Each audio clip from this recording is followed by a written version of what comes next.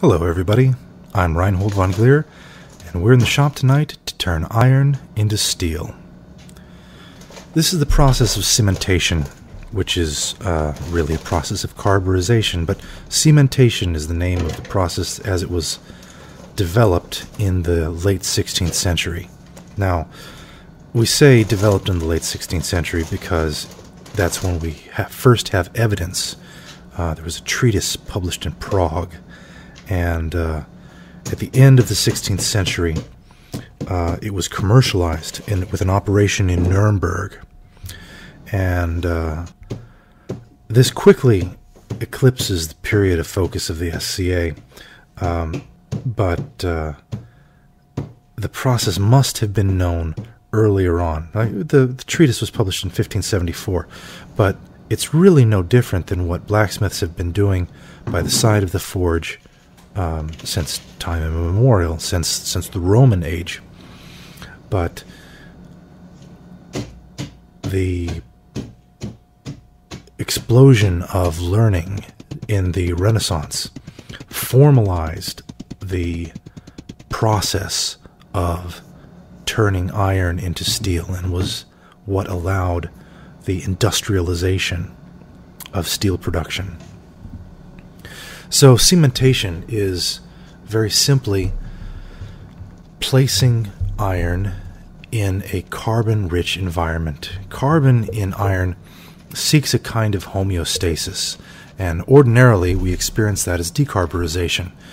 Um, young smiths will often experience decarburization of their work because they keep placing the work back in the forge to get it right to because they're not efficient with their metal shaping yet. And that's okay. Um, it can be easily fixed by grinding. So we say forge thick grind thin. Um, that'll always remove your decarburization because uh, carbon migrates in or out of steel at a rate of about 5 one thousandths of an inch per hour. So not very fast, but very easy to uh, to ruin your surface um, if you aren't doing much stock removal. Now you can see here I'm just grinding and sifting the um, the charcoal. Um, cement cementation was done with what they called cement powder or cementation powder.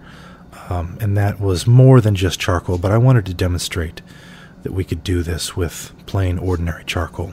And I'm also using plain ordinary steel from the hardware store.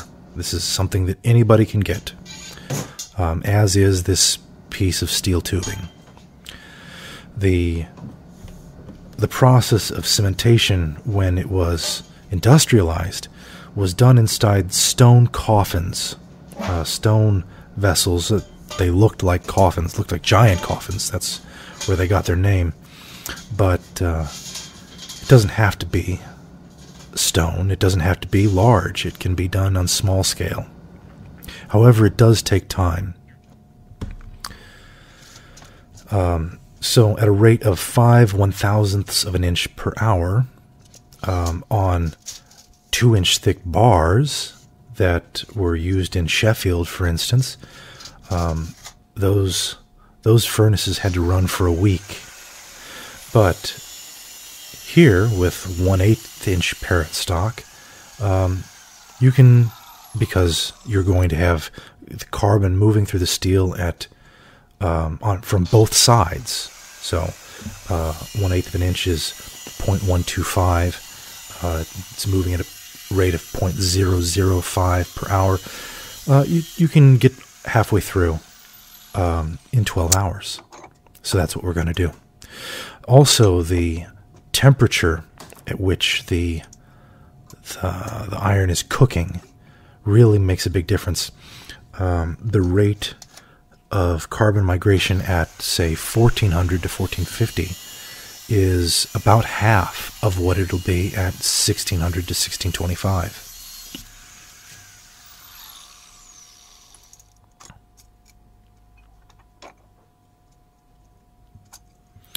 So here we have my stack of parent stock, and I'm about to part off the the coffin.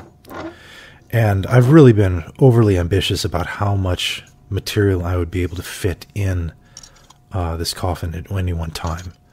Of course, I can fill it with that stack of steel, but I also need to fill it with a bunch of carbon powder, charcoal powder.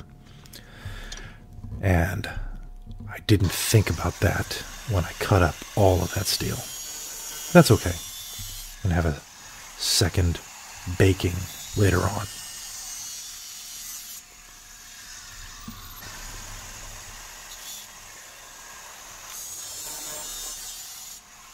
Now, since carbon migrates out of steel when it is in a low carbon environment, for instance, when it's just in a fire, and carbon migrates into steel when it's in a high carbon environment, for instance, when it's packed in charcoal or graphite. Graphite would be much easier to use, by the way. Um, then this coffin, since it is also steel, will also become a piece of high carbon steel. It'll be improved from the inside out.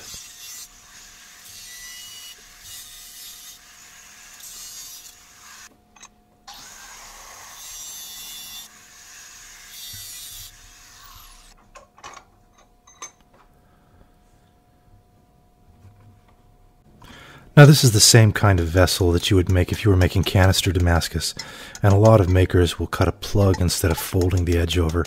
It doesn't really make a difference. I always thought that the process of cutting a plug was a lot more cutting and fitting. But uh, it welded up really nice. Ordinarily, I would use a MIG for this, but uh, the MIG machine was in a different area of the shop. So I was stuck with the TIG. And here, when the metal is all clean, it welded up beautifully uh, even though I was just using a piece of baling wire as my filler material.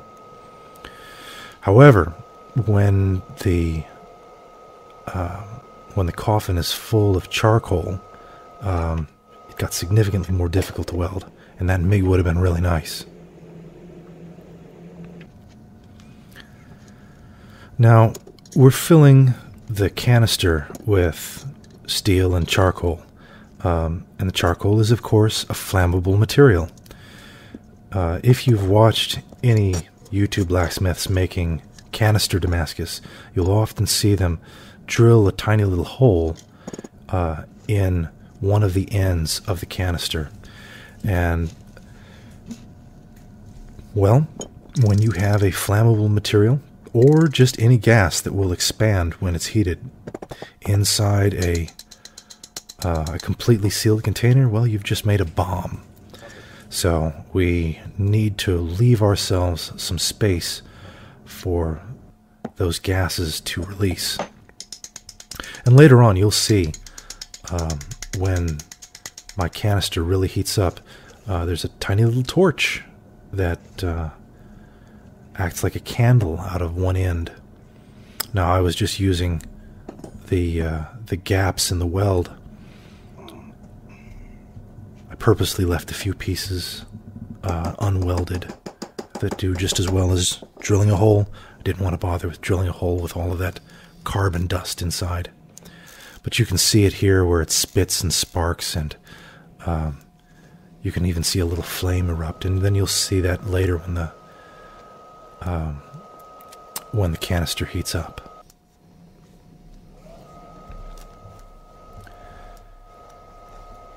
Now, I mentioned at 1600 degrees, this process is going to take about 12 hours.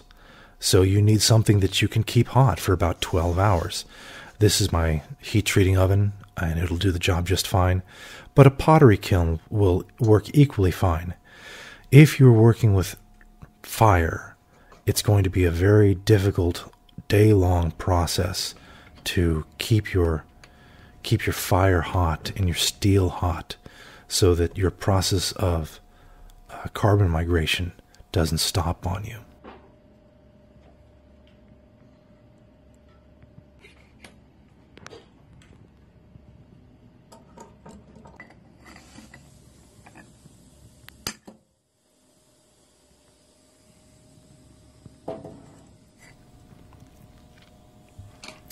And here we get to see the big reveal.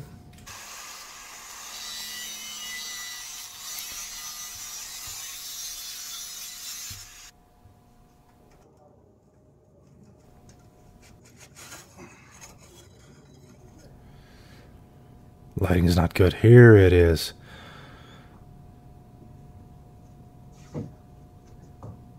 Just the color difference alone, you can see there's been a significant change in the steel. And look how hard I'm pushing. I really cranked on that.